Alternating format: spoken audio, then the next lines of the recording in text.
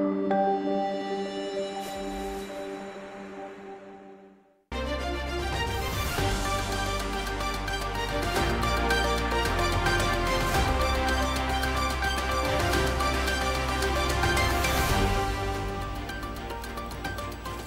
შუადღემშვიდობის BMG-ის გუნდი წარმოგიდგენთ საქმის კურსს, რომელსაც ბექა ბაციკაძე გაუძღვება. ჩვენი დაკვირვებით კომპანიები უკვე შემზადებულები არიან, ასე პასუხობს 5G XL-თან დაკავშირებულ კითხვას კომუნიკაციების კომისიის წევრი ვახტანგ გაბაშიძე. აბაშიძე ადასტურებს, რომ აუქციონები უახლოეს მომავალში გამოცხადდება. ინფორმაციისთვის 2021 წლის ბოლოს კომუნიკაციების კომისიამ დაანონსა, რომ 2022 წელს 5G XL-ის დანერგვაზე აუქციონი გამოცხადდებოდა და ლიცენზიის აუქციონო ფასი შეთავაზება ფასტაკლებით მოხდებოდა. კომპანიები ჩემი დაკვირვებით უკვე შემზადებულები არიან და ნუ შეიძლება აქ საუბარი იყოს გარკვეულ სამუშაო რეჟიმში კიდევ ზოგიერთ საკითხის დაზუსტებაზე, მაგრამ ეს პროცესი ამ წლის ბოლომდე უნდა დასრულდეს და ჩვენ მზად უნდა ვიყოთ უკვე ამ წლის ბოლოსთვის რომ გამოვაცხადოთ აუქციონი. სატელეკომუნიკაციო ინფრასტრუქტურის გაზიარების კანონპროექტის მსჯელობა განახლდა კანონპროექტი ეკონომიკის სამინისტრომ ჯერ კიდევ 2020 წელს წარადგინა, თუმცა პროექტს კანონის სახე ამ დრომდე არ მიუღია. საკითხზე პარლამენტის დარგობრივი კომიტეტის მიერ ინიცირებულ შეხვედრაზე იმსჯელეს კანონპროექტის მიღების შემდეგ ტელეკომ ოპერატორებს საშუალება ექნებათ ფართოზოლოვანი ქსელის განსავითარებლად უკვე არსებული სატელეკომუნიკაციო და სატელეკომუნიკაციო მიზნებისთვის გამოყენებადი ინფრასტრუქტურით ისარგებლონ. ასეთ ინფრასტრუქტურას შესაძლოა ფლობდნენ როგორც გაზის, ისე ელექტროენერგიის, წყლის, ტრანსპორტის და სხვა სექტორებში მოქმედი კომპანიები. დოკუმენტის კანონად ქცევის შემდეგ ტელეკომ ოპერატორები ახლად აშენებულ მრავალბინიან და მრავალფუნქციური შენობების შიდა ინფრასტრუქტურაზე დაშვების უფლებასაც მიიღებენ. კერძო სექტორი ამბობს, რომ დოკუმენტში მათი შენიშვნების დიდი ნაწილი კათოლიცინებული არ არის, ერთ-ერთი შენიშვნა, რაც საკომიტეტო მოსმენაზე გაჟღერდა, ეხება იმას თუ რატომ არ ცელდება დაშვების უფლება სახელმწიფო ქონებაზე. დაზუსტდეს როგორც შინაარსი კანონპროექტის, ისე მისი მიზნები.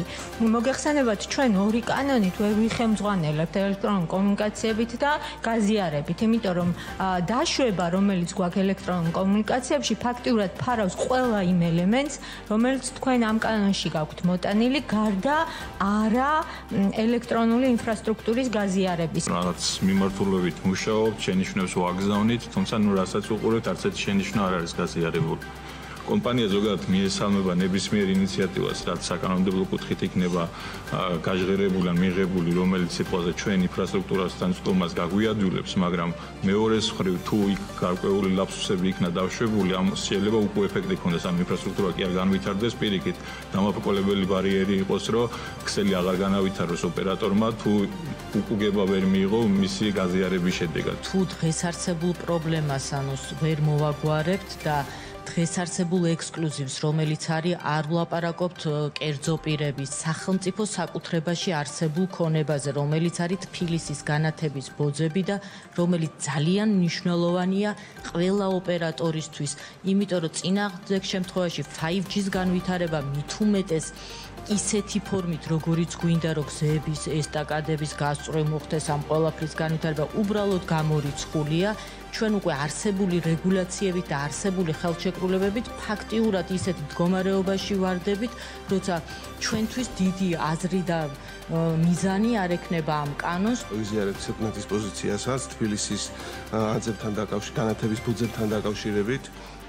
მით უმეტეს, როდესაც კომისია სტრატეგიაში 5G-ის ლიცენზიის გამოტანა აქვს დაგეგმილი 2023-ში და გარკვეული ვალდებულებები უნდა ავიღოთ ოპერატორებს აქსელის განვითარებაზე და აღნიშნულში აღნიშნული ინფრასტრუქტურა თბილისის მერიის აუცილებელი იქნება ყველა ოპერატორისთვის.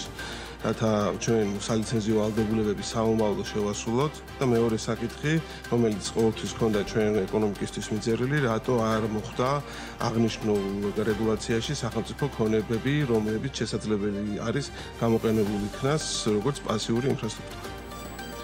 ბიზნეს თავად კანონპროექტის ინიციატორმა ეკონომიკის სამინისტროს წარმომადგენელმა უპასუხა, როგორც ეკა ყობუსიძე განმარტავს, როგორც სახელმწიფო ისე მუნიციპალურ ინფრასტრუქტურაზე ტელეკომ ოპერატორების დაშვებას აღნიშნული კანონპროექტი არა, თუმცა მიმდინარე პროგრამა ითვალისწინებს, რასაც ეკონომიკის სამინისტრო მსოფლიო ბანკთან ერთად ახორციელებს.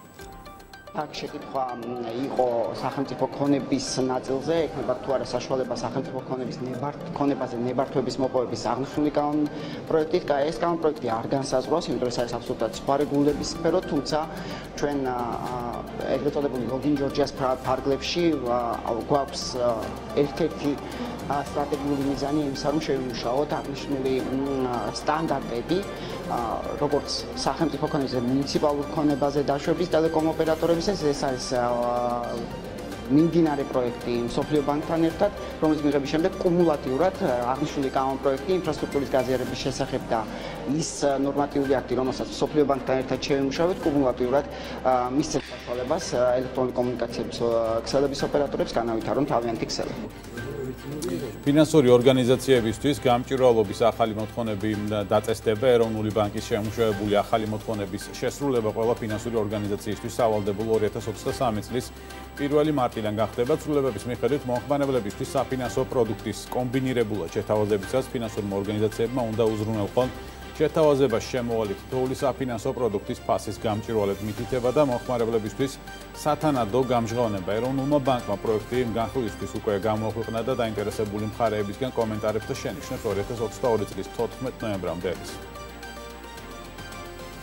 თელას ინფორმაციით 2022 წლის 9 თვეში კომპანიამ 2241 მილიარდი კილოვატ-საათი ელექტროენერგია გაანაწილა, რაც 177 მილიონი კილოვატ-საათით აღემატება 2021 წლის მაჩვენებელს. კომპანია აღნიშნული აღნიშნულ მატებას ქვეყანაში ეკონომიკურ აქტივობას უკავშირებს ტელასის აბონენტთა რაოდენობა 2022 წლის იანვარ-სექტემბრის მონაცემებით 2021 წლის იანვარ-სექტემბერთან შედარებით 22000 აბონენტით გაიზარდა და 799600 აბონენტი შეადგინა, საიდანაც 648000-ზე მეტი ფიზიკური პირია, ხოლო 71000-ზე მეტი იურიდიული პირი.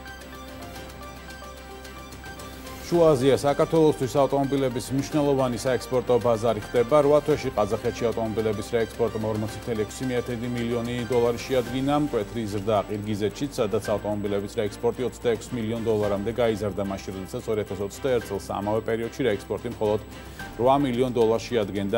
ამ მიმართულებაზე გაიზარდა ამ ქვეყნებიდან ფულადი გზავნილების, მაგალითად სექტემბერში ყირგიზეთიდან ფულადი გზავნილებში 417%-იანი ზრდა, ყაზახეთიდან 72%-იანი რის ხარჯზე გაიზარდა მოთხოვნა შუა აზიის ბაზარზე და როგორ შეიცვალა საქართველოსთან ავტომობილების რეექსპორტის რუკა ამ თემაზე ვისაუბრებ სტუმრებთან ერთად ვანო ბიჩინაშვილი გლობალ ავტოიმპორტის დამფუძნებელი და ავტოიმპორტიორთა ასოციაციის გამგეობის წევრი ალექსი ნონიაძე გვერდებიან პირდაპირ ეთერში შუა დღემშვიდობის მადლობა სტუდიაში მომბრძანებისთვის ბატონ ალექსი მოდით მთლიანად სექტორით დავიწყოთ ამ შემთხვევაში.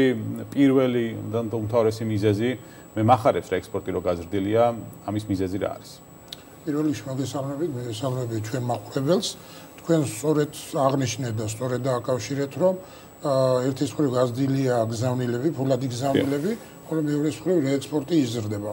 ბუნებრივი ეს ბაზრები ცენტრალური აზიის ქვეყნების ბაზრები მნიშვნელოვანია ჩვენი ავტომობილების რეექსპორტისათვის. და ამის მიზეზი ძირთად ის არის რომ სანქციებში არის რუსეთი და ძირთად ტრანზიტულ ქვეყნად საქართველოს იქცა და ამ კონკრეტულ შემთხვევაში ნაწილი ავტომობილების რაც შედიოდა ამ ქვეყნებში იგივე რუსეთიდან, ну ეს ნაკადი ნაწილობრივ შეჩერდა, ნაწილობრივ შეჩერდა და დიდი დიდწილად უკვე გადმოინაცვლა, მოთხოვნა გადმოინაცვლა ჩვენ ბაზარზე, რასაც რასაც რა თქმა უნდა მივესალმებ. შუაზიის ბაზარი ზოგადად ისედაც მიმზიდველი იყო, ქართველი იმპორტიორები და ექსპორტიორები მუშაობდნენ ამ ბაზრებთან მიმართებით, ну მაგრამ ასეთი არა, ხო? დასაკმაოდ მაღალია ამ შემთხვევაში, მიუხედავად იმისა, რომ ფასები საკმაოდ მომატებულია. ფასები მომატებულია, გეთანხმებით, ანუ ბრუნვა ბიზნესისთვის ადრე თუ იყო თქვა 1000 დოლარი, ახლა სადღაც 30%-ით არის გაზრდილი და საბრუნავი კაპიტალი, ასე ვთქვათ, ავტომობილების ფას საშუალოდ 30%-ით გაიზარდა. მინდა გითხრათ, რომ ყირგიზეთის მიმართულებით ორ ნახევარჯერ არის გაზრდილი ვაჭრობა. ყაზახეთის მიმართულებით არის სამჯერ გაზრდილი, ხოლო იგივე ტაჯიკეთის მიმართულებით ერთ ნახევარჯერ. ტაჯიკეთიც აქტიურად არის. ხო, თუ დავაკავშირებთ ამას ფულად გზავნილებს, შეიძლება ითქვას, რომ მარტო აი სექტემბერში ვთქვათ მაგალითისთვის 9% შეადგენს ცენტრალური აზიის ქვეყნების წილი გადმოგზავნილებში, ფულად გზავნილებში, რაც დაახლოებით 35 მილიონი დოლარის ეკვივალენტია. დიახ, როცა ეროვნულ ბანკმა გამოქვეყნა ფულად გზავნილების სტატისტიკა, როცა ყირგიზეთი ყირგიზეთი მოხდა, პირდაპირ ვიფიქრე, რომ ეს იყო ავტომობილების რეექსპორტიდან გამომდინარე. ვანო თქვენი კომპანიის მაგალითზე აქტიურად იყავით უკრაინის ბაზარზე მათ შორის წარმოდგენილები, შემდეგ ომი უკრაინაში, რუსეთის აგრესია, რამაც რეალურად ბიზნესს ძალიან შეაფერხა. დღეს როგორ გადაეწყვეთ და შუაზიის ბაზრები რამდენად მნიშვნელოვანია თქვენი კომპანიისთვის მათ შორის? აა მოგესალმებით ბექა, მივესალმებ მაყურებელს. ჩვენ ანუ ესე გადავლაგდით, რომ პირობითად უკრაინის კლებასთან ერთად მოიმატა რატომღაც აზერბაიჯანის ბაზარმა, იგივე სომხეთის ბაზარმა, რაც თქვათ ტრანზიტი იყო იგივე რუსეთის ბაზრის და იგივე შუაზიის ქვეყნები, აი ყაზახეთი არის ჩვენ ჩვენ შემთხვევაში ძალიან აქტიურად ხო ჩართული და წამყვანი და მოკლედ ანუ ეს კოლაფსი პირიქით ანუ ზრდად იქცა ერთგვარად. უკრაინასთან მიმართებით ბოლო პერიოდში იყო ზრდა ავტომობილების რეექსპორტისა, დაუბრუნდით თუ არა ამ ბაზარს და იდეაში რა პერსპექტივებია მიმართულებით? ბოლომდე რა ვერ დაუბრუნდით, იყო რაღაც გარკვეული დადებითი თქვა ისინი, თუმცა აი გამოცხადების თქვა მობილიზაცია. მობილიზაციის გამოცხადების შემდეგ რაღაცა ვარდენასავეთი იყო, თუმცა აი ხა ბოლო პერიოდში, ბოლო დღეებია უკვე ისე იბრუნებს ძველ იერსახეს. კი ბატონო, რაც შეეხება ლოჯისტიკის ნაწილს, გაზრდილ ხარჯებს, ავტომობილების ფასებს, ეს როგორ ჩანს რეექსპორტის ნაწილში მოთხოვნაზე, ასე მკვეთრად არ აისახება, ადგილობრივ ბაზარზე რა ხდება მოთხოვნის კუთხით? და გიწევთ თუ არა, ვთქვათ, რა გამოწვევებია მოკლედ თქვენთვის ახლა დღეს ყველაზე მნიშვნელოვანი რა არის? ლოჯისტიკა, ფასები, თუ რა არის ყველაზე პრობლემა? ორივე არის გამოწვევა იდეაში, ანუ გაზრდილი ფასიც, თქვათ და ლოჯისტიკური სირთულეებიც, რაც უკავშირდება უმეტესწილად კიდევ თქვათ ზამთრის საწყის ეტაპს, რაც წინაწლებთან წინაწლებშიც იგივე იყო. რაც შეეხება მოთხოვნას, მოთხოვნა არის გაზრდილი, მე ვფიქრობ, რომ საკმაოდ კარგი მოთხოვნა არის, უბრალოდ მიწოდება ცოტა შეხერხებულია, იმიტომ რომ თქვათ იგივე ტრანსპორტირება, რაც ბატონ ალექსი მახსენა, იგივე თქვათ ავტომობილის საფასური გაცილებით გაზრდილია, ვიდრე თქვათ ეს ჩვენ მომხმარებელს აწყობს. დროის ნაწილშიც ალბათ გაზრდილია, ხო? მიწოდების ასე თქვა დროც საკმაოდ მომატებულია. კი, საკმაოდ მომატებულია, ხო ვერ ვიტყვით რომ რაღაცა არის დღეს დღეს დღეისობით მე ვიძახი რომ თქვა არ არის რაღაცა ისეთი, თუმცა მოლოდინი არის და იმის თქვა აა ფიქრობთ ჩვენც რომ გავითვალისწინოთ რომ აი ჩვენ მომხმარებლებს გავაფრთხილოთ რომ რაღაცა პერიოდი თქვათ ერთი თვით ან ორი თვით კიდევ გახარჯლდება იმიტომ რომ არ არის თქვათ იმდენი რაოდენობის კონტეინერი რამდენის თქვათ ჩვენ გვჭირდება კი ბატონო. ბატონო ალექსი ზოგადად წელს შევხედოთ ამ შემთხვევაში ავტოინდუსტრიას ამ ბიზნეს პერსპექტივაში. რა მოლოდინებია? გარკვეულწილად ფორს მაჟორში მუშაობს თუმცა ახერხებს იმას რომ სხვადასხვა ბაზრებს მოერგოს, ხო? მათი მოთხოვნების შესაბამისად მოერგოთ ჩვენი გეოპოლიტიკური ლოკაციიდან გამომდინარეც, ხო? აი პერსპექტივაში რა მოლოდინებია ბაზართან მიმართებით? უყურეთ ერთდროულად მოქმედებს როგორც დადებითი ფაქტორები, ისევე უარყოფითი ფაქტორები. მოდი დავიწყებ თქვენებად უარყოფითი ფაქტორები. იგივე იგივე საერთაშორისო ბაზარზე და საერთაშორისო ბირჟებზე ავტოწარმოებლების, ასე ვთქვათ, აქციები კლებულობს. ფაში ინვესტიციების შემცირება, რა თქმა უნდა, მიწოდების ჯაჭვს და იმოქმედებს, მიწოდება შეამცირებს, ასევე ახალი ავტომობილების მიწოდებას შეამცირებს და შესაბამისად შეამცირებს მეორად იმ ასე ვთქვათ, ავტომობილების ბაზარს, იმიტომ რომ იგივე ის ევროპელი თუ ამერიკელი მოქალაქე აღარ ყიდულობს ახალ ავტომობილს, შესაბამისად ძველს არ დარჩეს ჯერჯერობით, ამიტომ ბუნებრივია მიწოდებაც მეორად ავტომობილებზე მე ვფიქრობ შემცირდება. ეს უარყოფითი ფაქტორია, რაც ფასებზე ლოგიკურად იმოქმედებს აიწევა, მაგრამ იგივე როგორც წაგან გითხარით, იგივე რუსეთის ჩაკეთვამ და ჩვენი სატრანზიტო როგორც დერეფნის და ჩვენ ბაზარზე მოთხოვნა ბუნებრივია იგივე ცენტრალური აზიის ქვეყნებიდან იგივე უკრაინიდან ბოლო პერიოდში პირველ კვარტალში ჩავარდნა იყო თითქმის განულებული იყო წინა წელთან შედარებით და მე ნენელა ნენელა უკვე პლუსში გადავედი ანუ მეტობაც იყო. საერთო ფონდზე მე არ ვამბობ ერთი კომპანიის მაგალითზე. თლიანად საქართველოს მასშტაბით ჯამურად ასე მეორე კვარტალში იყო რამდენიმე მეორეში ზრდა. იყო და მესამე კვარტალში უკვე პირობითად თუ ზუსტად მახსოვს არ მინდა შევცდე სადაც 8 მილიონით მეტი მივაჭრეთ ვიდრე წინა წლის იგივე პერიოდთან შედარებით ვაკეთებთ. ანუ ერთის მხრივ მოთხოვნა გაიზრდება ბუნებრივია აქედან და ჩვენი ბაზარი გაიზრდება ამის ამ მიმართულებით, მაგრამ მეორეს მხრივ საერთაშორისო ბაზრებზე რა მდგომარეობაც არის, აა სავარაუდო თუ ასე გაგრძელდა ბირჟებზე ცვალებადი სიტუაცია მიწოდება ასე თქვა შემცირდება და ფასი გაიზრდება. ანუ რეალურად ახალი ავტომობილების ნაწილში რა მოლოდინებიც არის სოფლიოში პრობლემები რომელიც იყო ეს პრობლემა ყველა ვიცით ეს იყო ნახევარგამტაროვის პრობლემა ეს იყო მიწოდების ჩაჭვების წვეთა და ასე შემდეგ. ეგ აისახება რეალურად მეორადი ავტომობილის ბაზარზეც ხო ანუ პირდაპირ ახდენს გავლენას უარყოფითი მოლოდინების ნაწილში. ხო აი რაც მე მოკლედ აგიხსენით იმიტომ რომ დროში შეზღუდული ვართ ბევრი ფაქტორი მოქმედებს იქაც და მათ შორის რეცესიული პროცესები. გვინდა არ გვინდა უკრაინის ომი მოქმედებს სოფლიო ეკონომიკაზე და ნეგატიურად ძალიან დიწილად მოქმედებს რუსეთზე, მაგრამ სამწუხაროდ ჩვენ დასავლეთელ პარტნიორების ეკონომიკებზეც მოქმედებს გარკვეულწილად.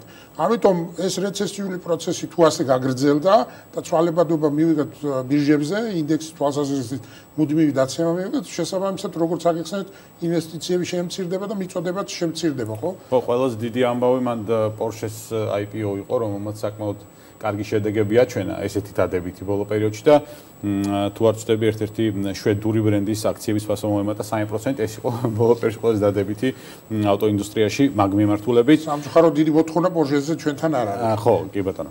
თუმცა გარკვეული მოთხოვნა არსებობს და საკმაოდ ამბიციური გეგმები აქვს ამ კომპანიასაც საქართველოში მინდა გითხრათ, ანუ ამ შემთხვევაში ამდენად მყარია ეს ბიზნეს ურთიერთობები იგივე ყირგიზეთთან, იგივე ყაზახეთთან, ანუ სხვა თანაბარ პირობებში, ასე ვთქვათ, რომ არ მიმდინარეობდეს კონფლიქტი, ომი უკრაინაში და რუსეთის აგრესია, ანუ რამდენად შეგვიძლია დავეყრდნოთ ამ ბაზრებს, მოკლედ ბიზნეს სტრატეგია და გეგმა თქვენი როგორია?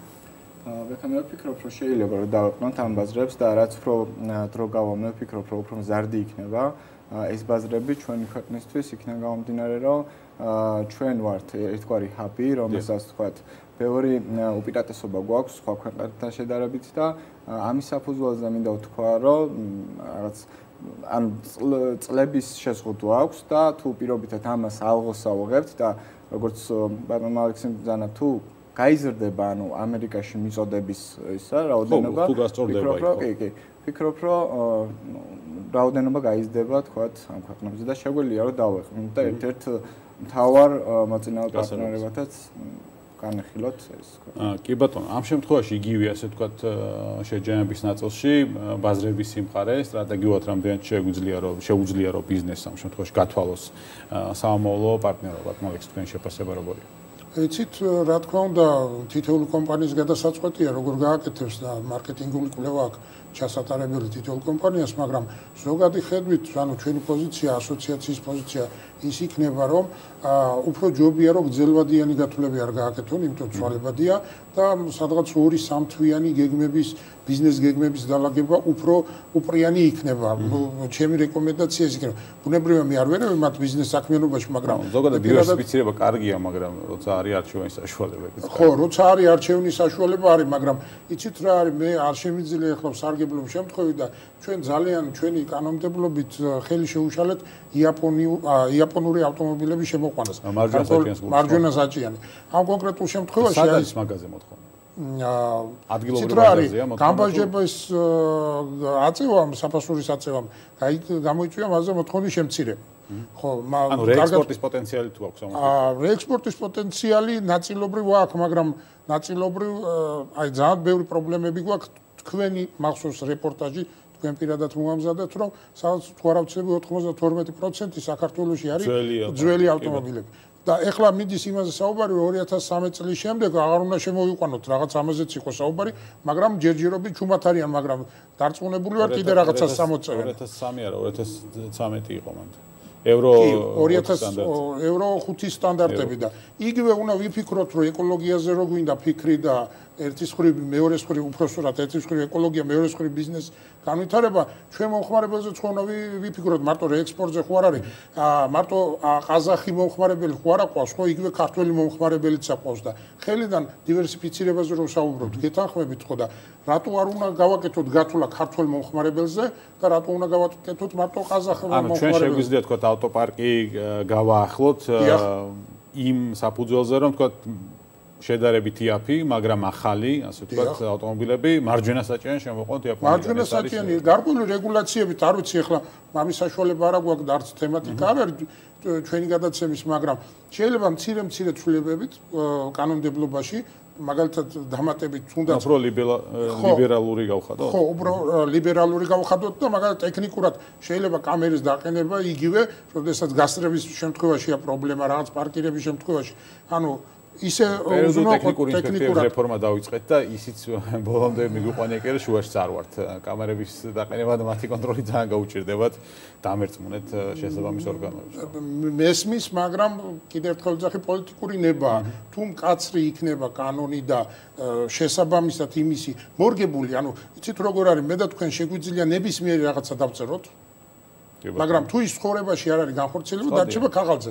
ამიტომ, რა ვიცი, ასოციაციის პოზიცია ის არის, რომ უბრალოდ იმაზე კი არ ვილაპარაკოთ, რომ ანუ ეს გვინდა და ის გვინდა. შეიძლება ბევრი რამე გვინდა, მაგრამ რამდენად ცხოვრებისეული იქნება პრაგმატული ამაზე არის. ხო, ფიტი რეფორმა კარგია ფურცელზე, მაგრამ რეალურად, ნუ დღეს მისი მიმდინარეობა არის ვერნა კრიტიკას ვერ უძნებს მოკლედ.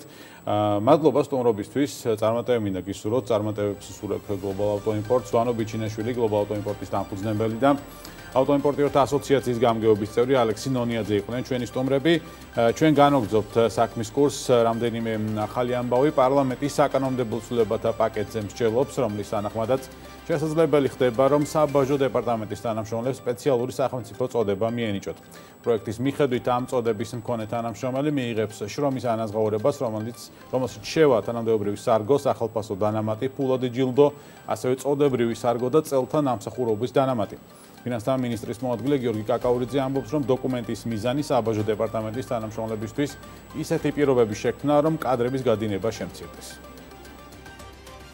თავი მიზანი პროექტის არის ის, რომ კონდეს საბაჟო დეპარტამენტის თანამშრომლებს იგივე პირობები, რა პირობებიც აქვს მის გვერდზე მდგომ სხვა ქვეყნის თანამშრომლებს. თუ ჩვენ შევხედავთ თუ რა სიტუაცია საბაჟო სამსახურებში, აბსოლუტური უმრავლესობა ქვეყნების განვითარებული ქვეყნების ჩვენი მეზობლები, მათი საბაჟო დეპარტამენტის თანამშრომლები არიან სპეციალური წოდების მქონე პირები და ეს ძალიან ბევრ სტიმულს აძლევს და გადინება სამსახურიდან ამ შემთხვევაში გასაგებია ნაკლებია, ვინაიდან ძელვადიან პერიოდში ხედავენ პირობების გამოჯობესების შესაძლებლობას. ჩვენებლობის ნებართვის მიღების მიზნით გამწვანების პროექტის წარდგენა მთელი ქვეყნის მასშტაბით სავალდებულო ხდება საქართველოს სივრცის დაგეგმარების არქიტექტურული და სამშენებლო საქმიანობის კოდექსში დაგეგმილი ცვლილებების პროექტის თანახმად დეველოპერებს მშენებლობის ნებართვის ასაღებად გამწვანების პროექტის წარდგენაც მოუწევთ. თანხა რომელიც მშენებლობის პროცესში გამწვანების სივრცეზე დაიხარჯება 1 კვადრატულ მეტრზე 50 ლარის ფარგლებში იქნება კანონპროექტის ინიციატორის შეფასებით ამ კანონის ამოქმედება თითოეული რეგიონისთვის ახალი სიცოცხლე და ეკოლოგიური ჯაჭვის აღდგენის წინაპირობა იქნება. გამწვანების პროექტის სამშენებლო ნებართვის სავალდებულო ნაწილად ხდება მთელი საქართველოსთვის. აღნიშნული კანონ პროექტის განხილვები პირველი მოსმენით უმოკლეს დროში დაიწყება საქართველოს პარლამენტში. ფიქრობთ რომ ეს არის ძალიან წინ დიდ გადადგმული ნაბიჯი იმისთვის რომ საქართველოს რეგიონებშიც სამშენებლო ობიექტები მშენებლობისას გათვალისწინებული იქნეს ეზოს კეთილმოწყობა მწვანე ნარგავებით რაც თითოეული რეგიონისთვის თითოეული სამშენებლო ობიექტისთვის იქნება ახალი სიცოცხლე სიცოცხლე, ახალი სიმწვანე და ეკოლოგიური ჯაჭვის აღდგენის წინაპირობა თითოეული ქალაქისთვის. საქმის კურსი ამი დასრულებულია 17 საათს და 40 წუთზე გიბრუნდებით პირდაპირ ეთერში. დროებით.